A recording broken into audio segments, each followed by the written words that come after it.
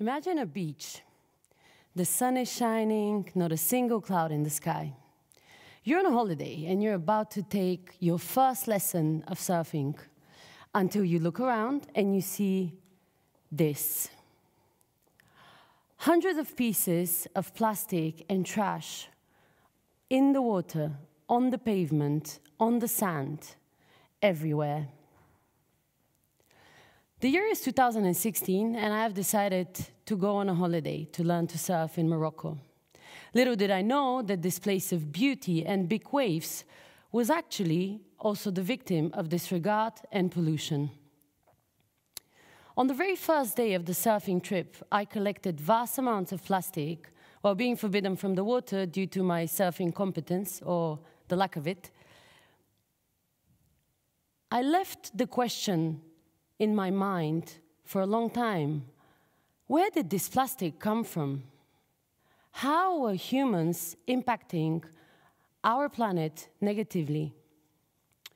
These questions daunted me for a while until I decided to do something about it. I read a lot of books, I watched a lot of documentaries, listened to podcasts. I cried a lot. I decided to build a comparative data model that was looking at one hand at the environmental issues and the most severe ones as defined by science, and on the other hand was looking into which were the most funded environmental projects out there, trying to find a correlation. I also decided to interview more than 300 people, asking them about their opinion on climate change. Yes, in 2016, people had opinions about climate change. The results were devastating. Online, offline, on TV, in my interviews, the discussions about climate change were a mess. And more fundamentally, the data was showing that there was not enough funding going towards the most severe environmental issues. After six months of these events, I made a decision.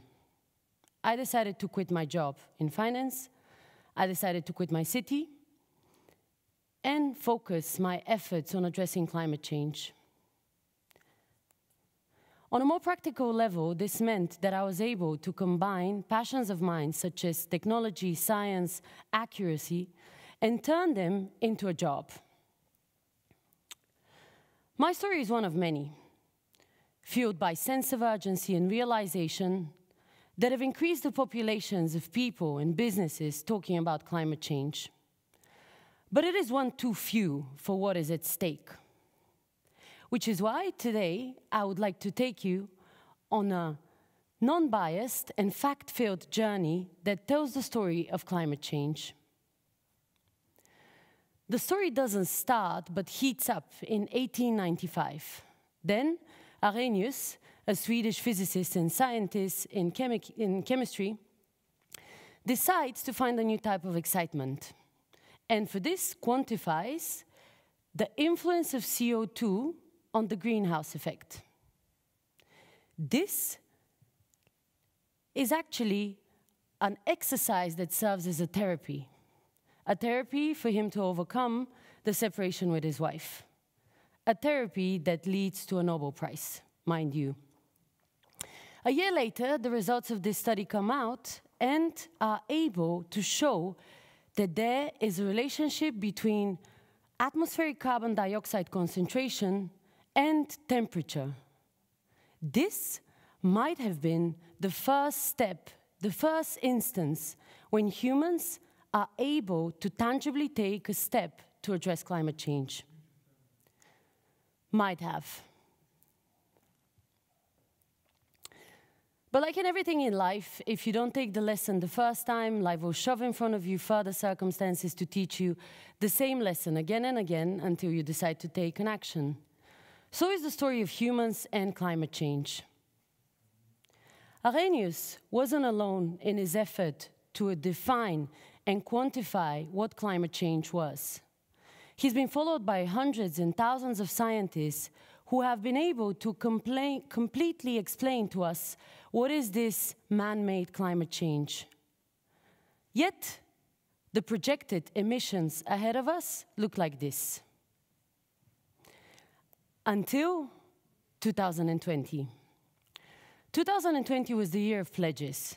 Pledges from countries such as Japan, China with their net zero commitments, from the UK with the climate disclosures mandates, the EU, the Green Deal, and Joe Biden being elected as the president of the US. On the company side, the list was endless. Walmart, Nike, Starbucks, and many, many more companies taking a stance and a step to be tangibly part of the solution towards a more sustainable future. And while we might be thinking that we're already organizing the party to celebrate the effect of these pledges, let's think about it. Are these pledges enough? Are we actually able to tangibly prepare for the future with them? While the planet took a deeper breath in 2020 and received a New Year's gift of 7% reduction, we only saw a 0.01 temperature decrease in the projected increase by 2050, meaning all the effort and all the lockdowns and all the time that we all humans spent locked up at home actually led still through the effects of deforestation, land degradation, to even more further development of climate change. And on an economic level, this meant that the severity of natural disasters were going to continue to develop. The supply chains were going to be further disturbed, and the output of the economy, as well as the profits, were going to decrease.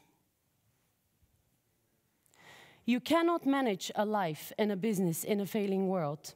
In simpler terms, carbon neutrality and pledges are simply not enough for us to sustain our existence as individuals and as businesses. And for those of the countries and companies that have understood this today and are willing to go beyond the pledges, there is a price. The history has saved them a winner price in an economy that is going to be dependent on sustainable solutions. But rather than focusing on future scenarios, maybe let's look at the data and what we can do today to actually respond. Today, we are on track to hit 2.1 to 3.1 degree temperature increase by 2100 with the current pledges and policies that we have in place. We're also facing three times more plastic and trash in terms of waste that would need to be managed. With a whopping 91% of plastic not being recycled as of today. Our biodiversity is declining. There's data from the last 50 years that shows that we have lost 68% of the populations. And from all the birds that are on this planet, 70% are domestic, while 30% are wild.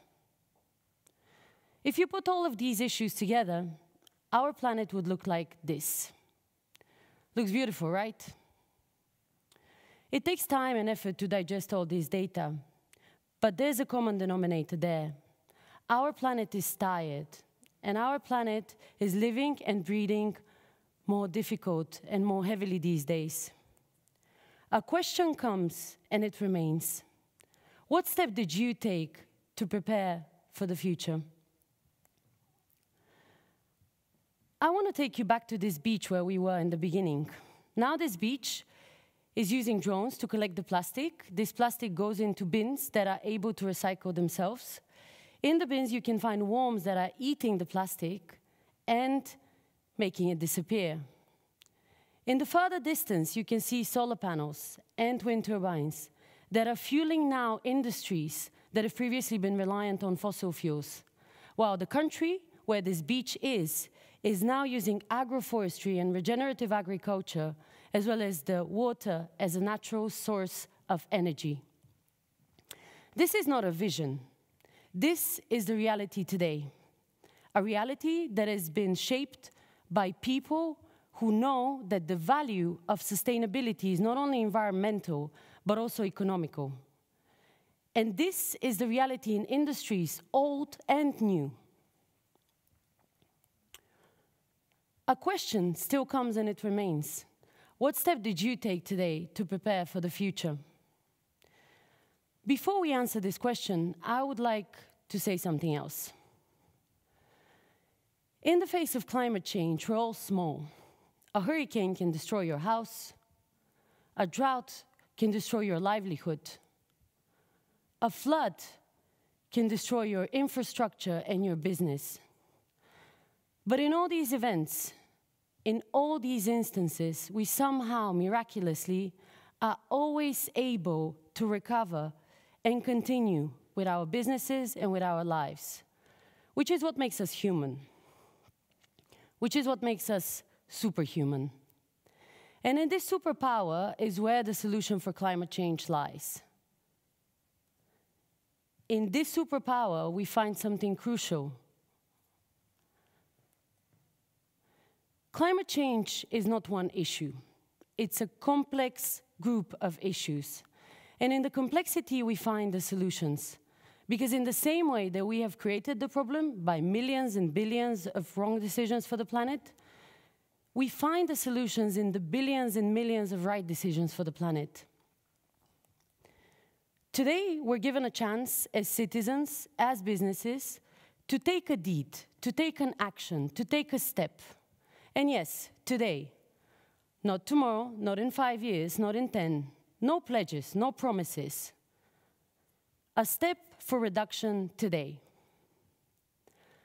A question still comes and it remains. What step did you take today to prepare for the future?